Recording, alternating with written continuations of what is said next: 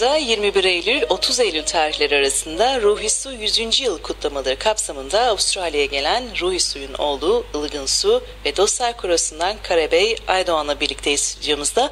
Hoş geldiniz. Hoş bulduk. Merhaba. Öncelikle Ilgın Bey sizinle başlamak istiyorum. Bilmeyen dinleyicilerimiz için de aynı zamanda biraz Ruhi Su'nun hayat hikayesinden bahsedebilir misiniz bize? Tabii. Ee, babam ee, 1912'de Van'da doğdu. Ee, Bu 100. yılda zaten oradan geliyor. 100.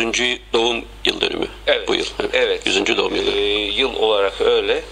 Ama bütün çocukluğu Adana'da geçti. Çünkü Van'da e, onu evlatlık olarak alan bir e, asker onbaşısı oralıydı, Adanalıydı, e, Çağrılıydı hatta Toroslar'da yaşıyordu. Ve o evlat edindi ve orada büyüdü. Yani bütün yaşam türküdeki ilk ilk hayat dersini, ilk e, türkülerle tanışması çocukluğuna rastlar. Bir, e, tam anlamıyla bir, Birinci Dünya Savaşı'nın ortada bıraktığı çocuklardandı baba. Daha sonraki yaşamı e, Öksüzler Yurdu'nda, sonra Adana Lisesi, doz- e, daha sonra Müzik Öğretmen Okulu, bu arada tabii bir e, askeri lise macerası var kısa bir kısa süren. Daha sonra Ankara Devlet Konservatuvarı kurulduğu zaman oranın opera bölümünden mezun olup operacı olarak da müzik yaşamını sürdürüyor 1952'ye kadar. Ondan sonra 5 yıllık bir mahkumiyet ve daha sonra bugün e, Ruhi Suyu bildiğimiz sanatçı kişiliğiyle tanıdığımız türküleri çalıştığı üzerindeki türküleriyle donatılmış bir yaşamı var. Buraya kadar sürüyor o. Siz nasıl tanıştınız Ruhi Su'yla? Valla ben e, öncelikle CBS Türkiye yapım ekibine çok teşekkür ediyorum. Türkçe bölümü yayınlarının ekibine. Sonra da e, Melbourne'de bulunan e, Türkiye'li tüm derneklere adlarını bir bir sayamayacağım. Bu kadar e, güzel topluluğu bir arada bulmak ayrıca bir mutluluk kaynağı bizim için. Ruhi Su Kültür Sanat Derneği için ve Türkiye'de yaşayanlar için. Biliyorsunuz Türkiye'de bir imece geleneği var. Tam öyle bir şey yaşıyoruz galiba Melbourne'de. Çok fazla grup Şimdi Ruhi Su'ya geçelim. destekliyor. Ee, ben yaşamımda övündüğüm iki şey var. Birisi öğretmen okulu, birisi Ruhi Su. Bu Arifi Öğretmen Okulu bir eski bir köy enstitüsüdür. Orada lise 2. sınıf öğrencisi olarak düşünün beni şimdi. Ve müzik kolu başkanıyım. Müzik öğretmeni çocuklar bugün Karacaoğlan'ı dinleyeceğiz dedi. Ben o tarihe kadar Karacaoğlan hangi yüzyılda yaşadı? Kayıt stüdyosu var mıydı, plağı var mıydı bilmiyorum. Karacaoğlan'ın kendisini dinleyeceğimizi zannettim. Plağı aldım elime, üstüne hiç bakmadım. Ko- koydum pikaba.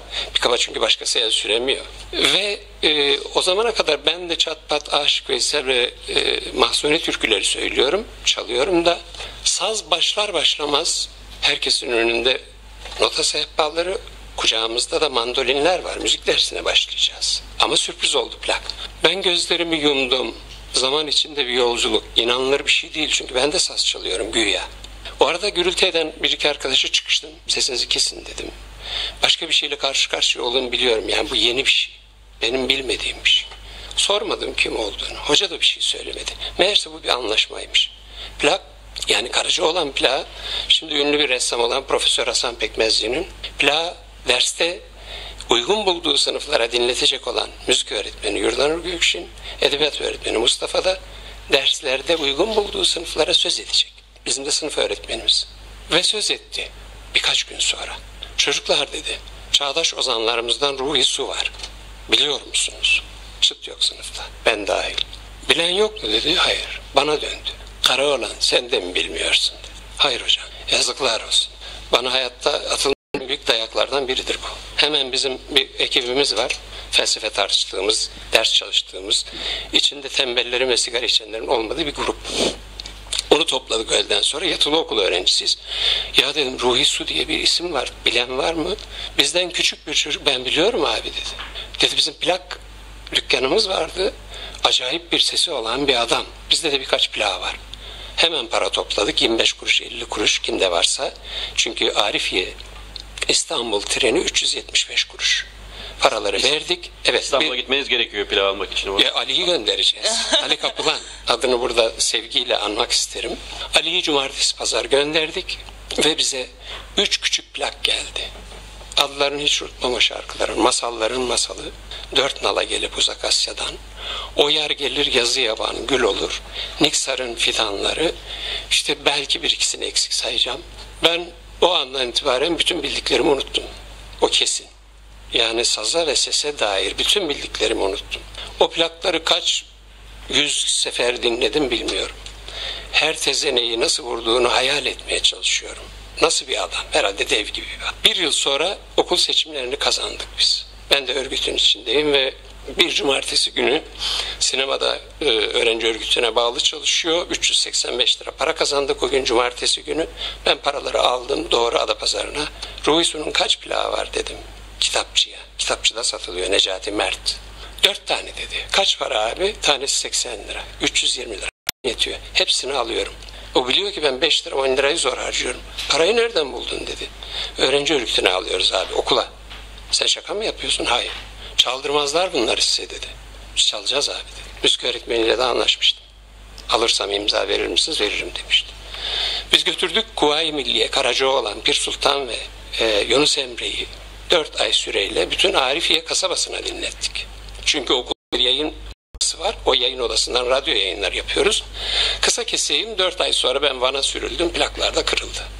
Sonra üniversiteyi kazandım. Öğretmen oldum. Ayrıldım. Ama bu arada hala tanışmadınız Ruhi. Hayır, Hayır. Hayal ediyorum. Nerede olduğunu bilmiyorum. Adresi yok. Ama şey haline geliyor yani. Hani Sabahattin Eyüboğlu köylüye soruyor aşk nedir diyor. Valla diyor seversin alamazsın aşk olur.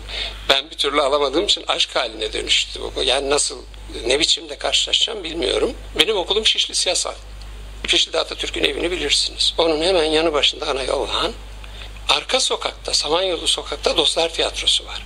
Oraya abone oldum. Orası bir kültür merkezi işlevini görüyordu. İnanılmaz bir şey. 9 bin üye falan. Öyle düşünün. Bir, öyle bir Türkiye vardı 70'li yıllarda.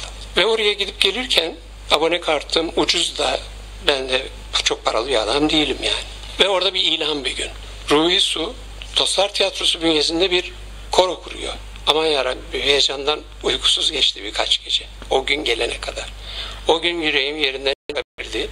Seçmeler bir mi yapıldı? Bir karanlık salon yaklaşık 300 kişi katılmış. 1975'in Kasım ya da Aralık ayı ama büyük olasılıkla Aralık ayı.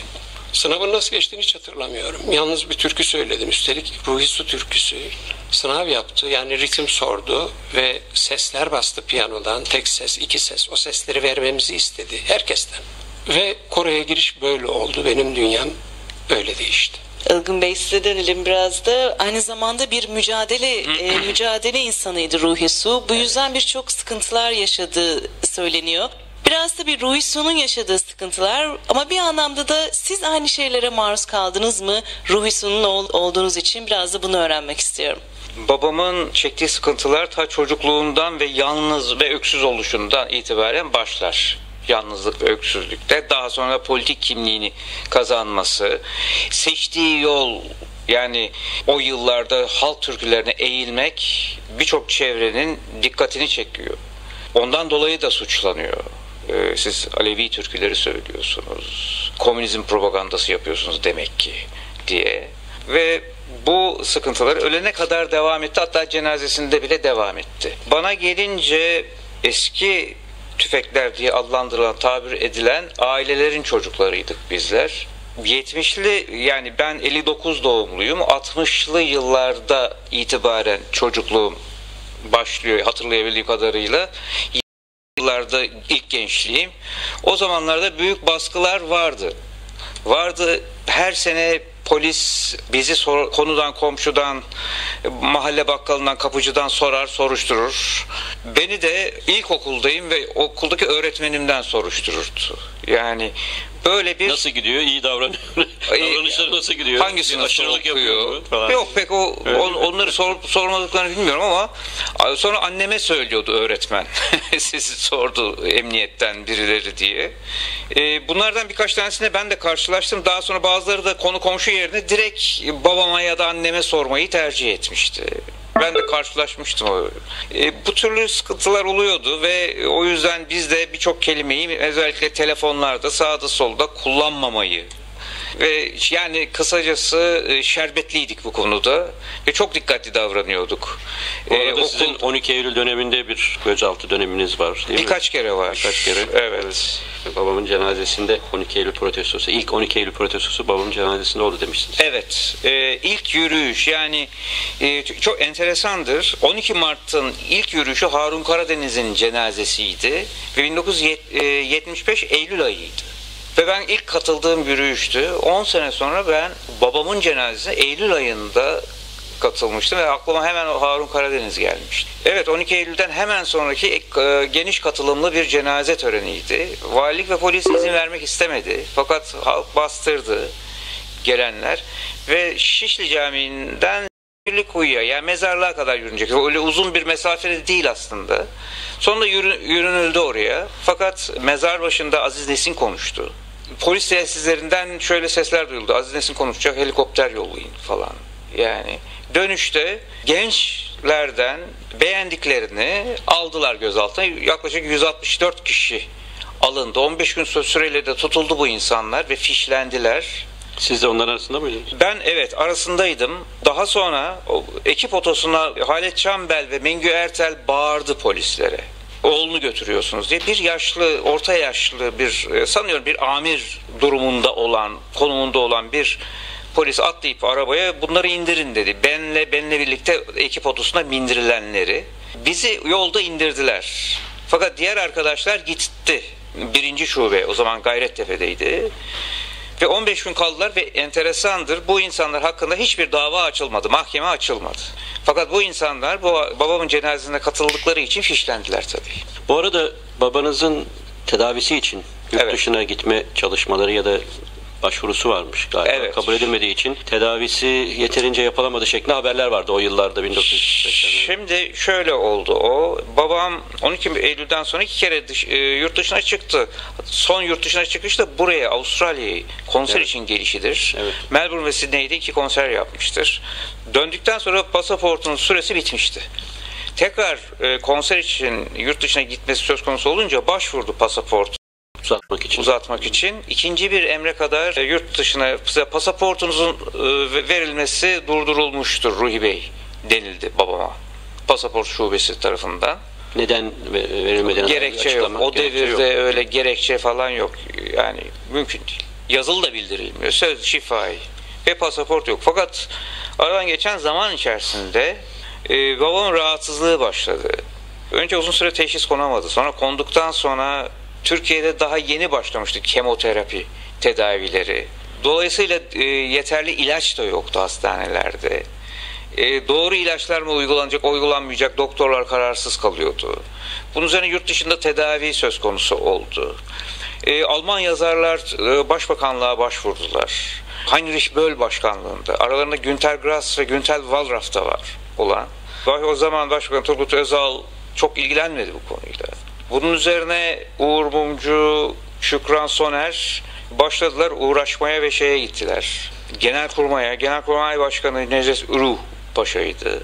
O durumu anlattılar. Uru hiçbir sakınca görmedi. Görmemişti. Ve MİT Genel Sekreteri olan ya da e, müsteşarı olan o zaman Teoman Koman Paşa'ydı. Onu arayıp dosyasını istemişti. E, Bu Uğur yazdıklarından an, e, biliyoruz bunları.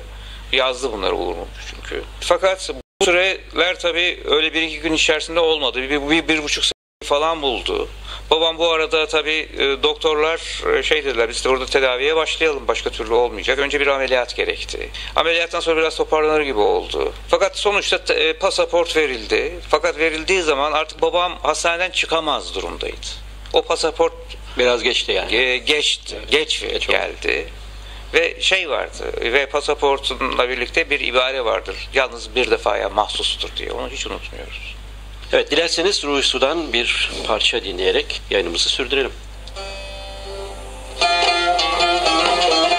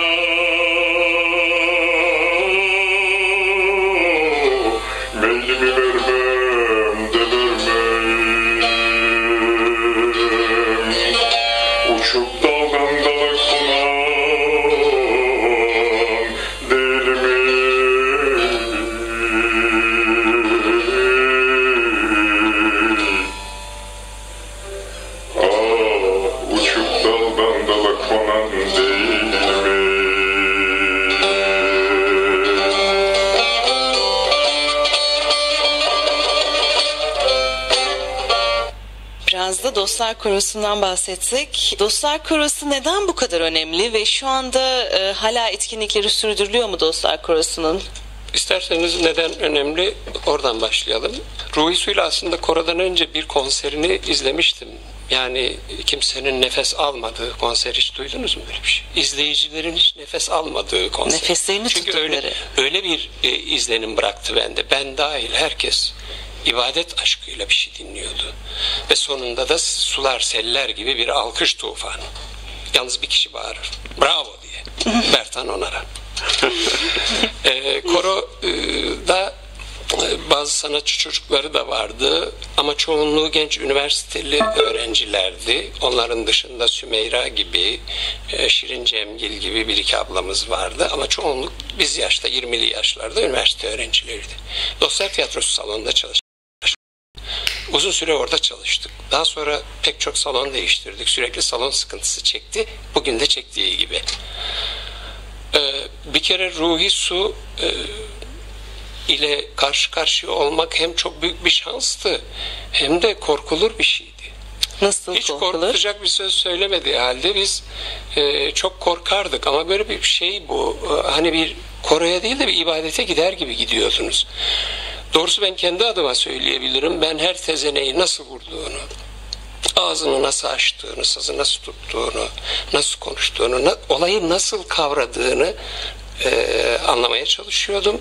İlk zamanlarda mesela vücuduyla filan da bize türküler söyledi. Şöyle elinde sanki bir kılıç varmış gibi ayağa kalkıp hmm diye böyle bir ses çıkartırdı.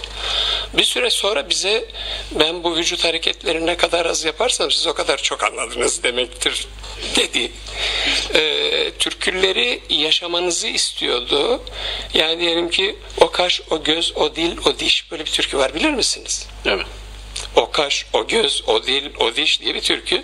Biz bunu söylüyoruz. Bir türlü mutlu olmadı. Olmadı canım. Ama şöyle düşünün dedi. O kaş, o göz, o dil, o diş daha neler var ama ben bu kadarını anlatıyorum. Ha öyle deyince anlıyorsunuz. Yani çok şey anlatmaya çalış. Böyle türkünün her sözcüğünü, onun dibindeki anlamı yaşayan bir insandı. Hatta yazılı olmayan anlamları da çözerdi. Yani örneğin bir semahta unsuru bulabilirdi ya da başka bir türküde e, ima edilen bir şeyi de anlamanızı sağlayabilirdi. Böyle derinlemesine bakan bir insandı. Koro ile e, el kapıları bilir e, izleyenlerimiz. E, el kapıları sabahın sahibi var ve semahlar adlı üç çalışma, üç uzun çalar yaptı. Çok sayıda konserler verdi. Bu arada işte örneğin Bursa'da, Ankara'da, çoğunluğu İstanbul'da, pek çoğu Dostlar Tiyatrosu salonunda konserler de verdi. Koro e, ilişkilerini sadece Dostlar Korosu adına söylemeyeyim. Ruhi Su'nun koro ilişkisi daha Adnan Saygun'un çalıştığı dönemlerden başlar. 36'larda öğrenciliğinden başlar. Ama hemen sonra operadayken Ankara'da dil tarihte bir koro kurar. Hapishaneye girer. Öyle e, kimine göre bir paspas tahtasından kimine göre e, hamamdaki zula olarak kullanılan yerdeki tahtadan bir saz yapılır. Orada bu sefer mahkumlardan bir koro kurar. İşte 69'larda Boğaziçi Üniversitesi'nden bir koro kurar. Ee, yakınlarının çocuklarından koro kurar. Bunların hep fotoğrafları var elimizde. Bizden hemen önce Dostlar Tiyatrosu sanatçılarıyla bir koro kurar. Yani içinde Genco Erkal'ın, Macit Koper'in filan bulunduğu bir koro. Onun da bir fotoğrafı var. Ama çok ciddiye alınabilecek ve tarihi adıyla da yaptıklarıyla da kalmış olan Dostlar Korosu'dur. Bunun dışında da koroları var, söz edilebilir. Ee, koro Ruhi çalışmasıyla e, ölümüyle çalışmalarına ara verdi. Şimdi Dostlar Korosu e, ve Ruhi Su'nun etkinlikleri belli bir çatı altında mı toplanıyor? Şimdi İstanbul'da s- Ruhi Su Kültür ve Sanat Derneği tarafından mı yürütülüyor? Evet. Evet. İstiyorsanız o konuya geçmeden önce ben bu gelişlerinde Evet Melbourne'daki etkinliklerimiz ama. e, Karabey Bey'in ve buradaki etkinliklerinden kısaca söz edelim. Ondan sonra da size tabii sor- sorumuzu yönelteceğiz Ruhi Su Kültür ve Sanat Derneği ile ilgili. Öncelikle bugün bir açılış kokteyli var. Bu davetli e, davetiyeli olarak sanıyorum. Onun ardından yarın ilk etkinliğiniz var. Karabey Aydoğan'ın e, Ruhi Su Türküleri Restleri. Biraz radyoculuk yapıp ben anons edeyim. Öyle mi? Buyurun, 22 tabii, Eylül tabii, Cumartesi. edin, tabii. Yarın 22 Eylül Cumartesi saat 7.30. Akşam. Buranın deyimiyle PM. 19.30 19.30 yani ya da. akşam. Evet, 19.30'da Collingwood College Tiyatro Salonu. Doğru mu efendim? Evet, Collingwood. Evet. Street, Street'te Collingwood'da. Collingwood'da bir konserimiz var. Onu bir Doğrusu- tek siz mi vereceksiniz? Tek başınıza siz mi çalıyorsunuz yoksa bir, bir grup halinde mi? daha olabilir. Hayır tek, tek başıma ben Ruhi Su türküleri söylemeye çalışacağım. Sazınızla, Evet sözünüzle. sazımla, sözümle. Yani Ruhi Su türküleri ağırlıklı bir konser vermeye çalışacağım. Evet çoğunluğu Ruhi Su türküleri olacak. Evet. Bunun için her bir ücret var mı? Sanıyorum bu konser ve bir sonraki konserde geçerli olmak üzere yani e, şeyde e, Tüm konserler konser için daha var. Evet. Evet. Ücret evet, var. şeyde yine Collingwood'da 30 Eylül günü de bir konser var. Her ikisi için bir tek bilet alınacak. Biletle girilecek. Evet. Sonra ertesi gün pazar günü yine bir etkinlik var. Orada da bir sergi açılışı. Evet Church bir de Ruhi Su geçti sergisi Bir hafta sonra cumartesi günü bu kez açık oturumunuz var. 29 Eylül cumartesi günü saat 19.30 akşam 7.30'da tekrar e, Richmond Town Hall'da bu sefer. Richmond e, Bridge Road'daki 333 Bridge Road'daki Richmond Town Hall'da Açık oturumun ardından da erte, bir gün sonra pazar günü Ruhi Su Türküleri konseri var yine.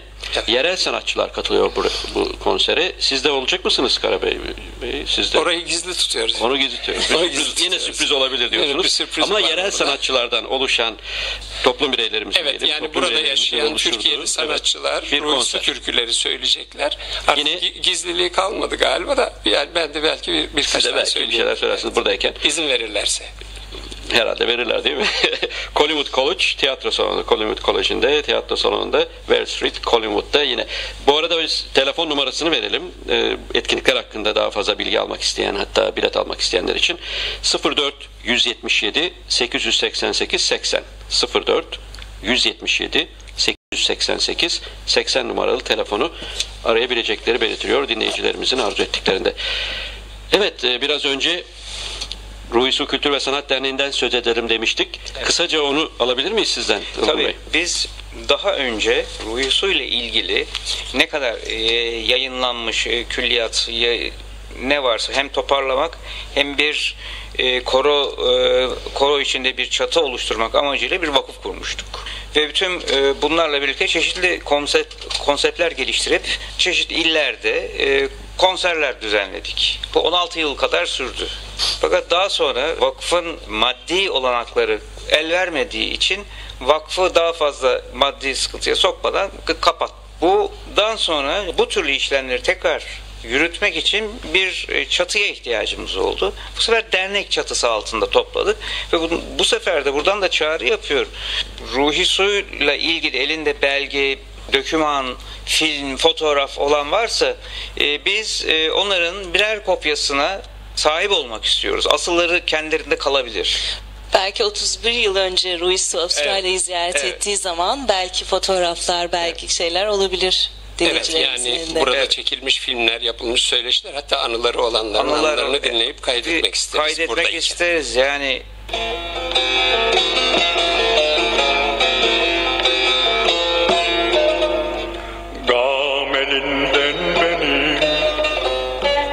für sie.